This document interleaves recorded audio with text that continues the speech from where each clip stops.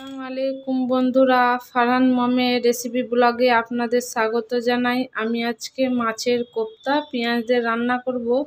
কি কি নিচ্ছি আপনারা একটু দেখুন। হলুদ দিয়ে মাছটাকে সেদ্ধ করে বেছে রেখে দিয়েছি। টমেটোর কাটা, তেল, ভাজা জিরে, ধনে, নুন, লঙ্কার গুঁড়ো, হলুদ গুঁড়ো, বেসন, আদা, রসুন বাটা, কাঁচা লঙ্কা কুচোনো, দু রকমের পেঁয়াজ কুচোনো। আমি এবার মেখে নেব। একটা গামলা নিয়ে মাছের কোপ্তার জন্য কি কি নিচ্ছি দেখে নিই। প্রথমে আমি পেঁয়াজ কুচোনো দেবো, লঙ্কা কুচোনো, আদা রসুন বাটা, এতে নুন দেবো। কেন মাছ সেদ্ধ করার সময় আমি নুন দিয়েছিলাম, তাই জন্য হাফ চামচি এটা নুন দিচ্ছি। হাফ চামচি হলুদের গুঁড়ো, হাফ চামচি লঙ্কার গুঁড়ো,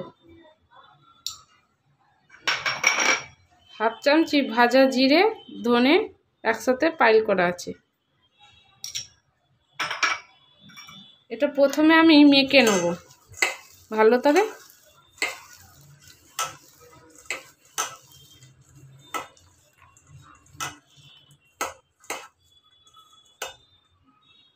তারপর আমি মাছটা দিয়ে দেবো।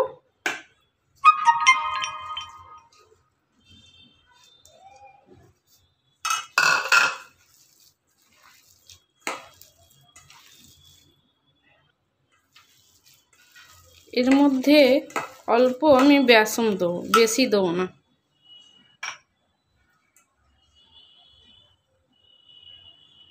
চার চামচির মতন ভর্তি ভর্তি করে দেবো।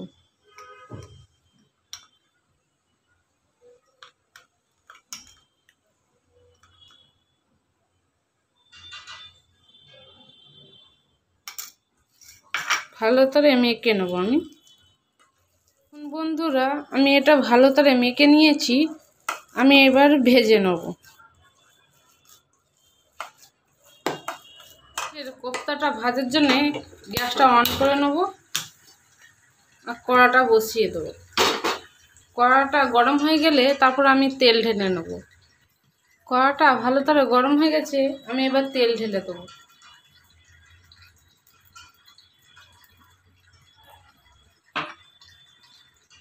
ভালো করে গরম হয়ে গেছে, আমি এবার কোপ্তাগুলো এক একে ভেজে নেব। আমি এরকম গোল করে নিয়ে এরকম চ্যাপটা করে নেব।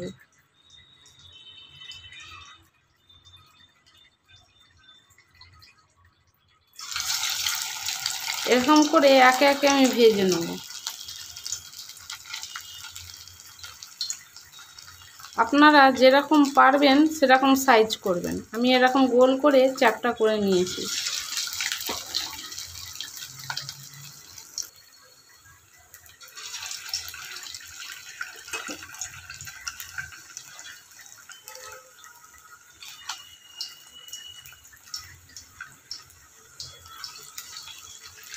এগুলো ভালো করে আমি এবার ভেজে নেব। আমি কিন্তু এ কোপ্তাগুলো মিডিয়াম ফ্লেমে ভাজছি। আমি এবার পাল্টে নেব। ওইদিকে হয়ে গেছে।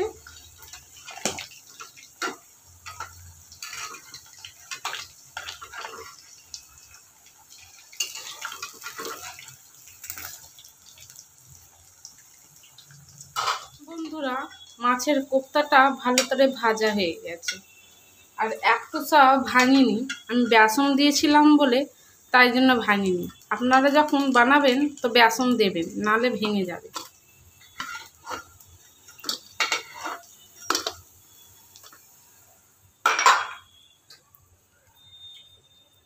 এরকম করে আমি সবগুলো ভেজে নেব।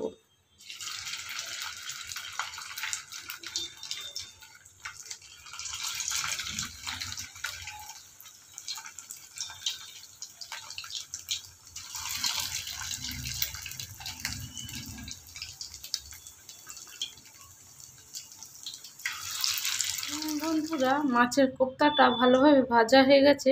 এবার আমি রান্না করে নেব।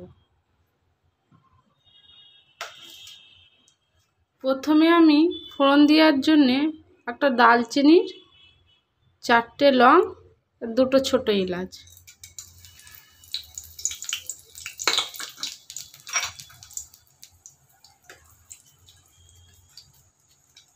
দুটো তেজপাতা। এগুলো আমি ভালো করে ভেজে নেব। ভালো করে ভাজা হয়ে গেছে, এবার পেঁয়াজ কাটাগুলো দিয়ে দেবো।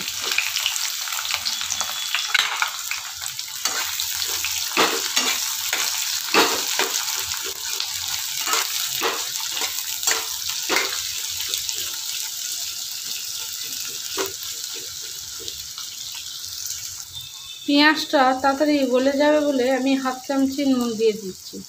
আর এটা বেশি ভাজবো না, হালকা ভাজবো পেঁয়াজটাকে।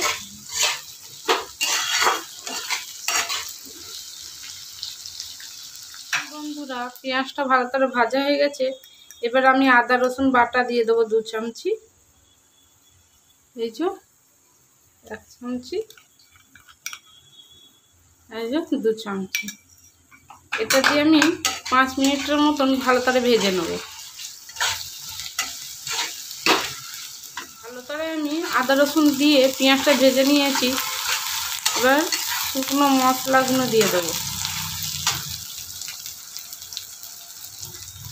প্রথমে আমি লঙ্কা গুঁড়ো দেবো, ছোটো চামচি, দু চামচি, এই যে।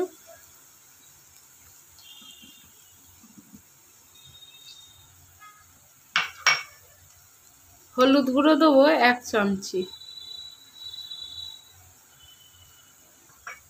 ভাজা জিরে ধনে, এক চামচি।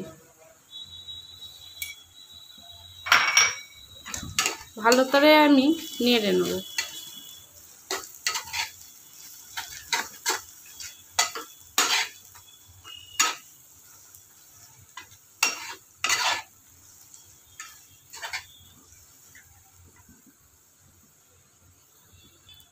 ভালো করে ভাজা হয়ে গেছে, এবার আমি টমেটোর কাটাগুলো দিয়ে দেবো।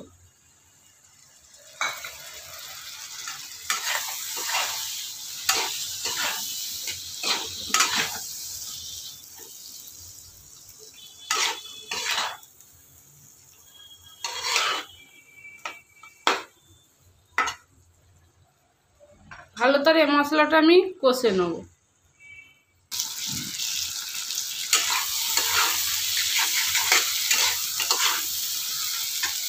এর মধ্যে আমি সামান্য পানি দিয়ে দেবো।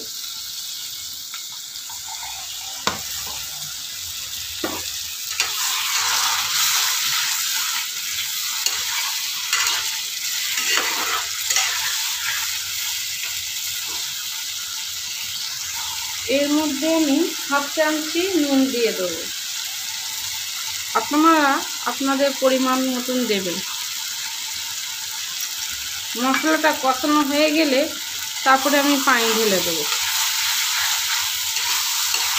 দশ মিনিটের মতন কষিয়ে নেব। মশলাটা কষানো হয়ে গেছে। দেখে নিন বন্ধুরা, মশলা থেকে তেল ছেড়ে দিয়েছে। আমি এবার পানি ঢেলে দেবো। পরিমাণ মতন পানি ঢেলে দেবো। যেরকম যে গ্রেভি রাখবে, সেরকম পানি ঢালবে।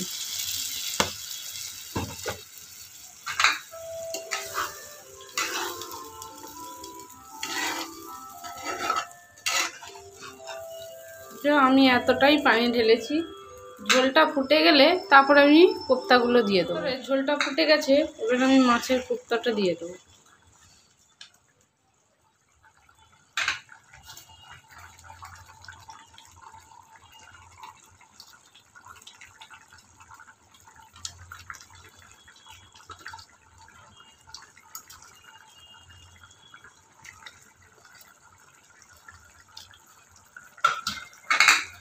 কিছুক্ষণের জন্য ঝোলটা ফুটিয়ে নিন।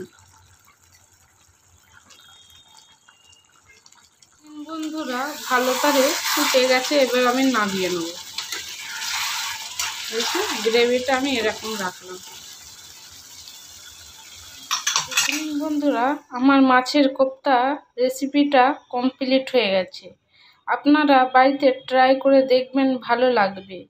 আপনাদের ঘরে এই ভিডিওটি যদি ভালো লাগে লাইক কমেন্ট শেয়ার সাবস্ক্রাইব করবেন।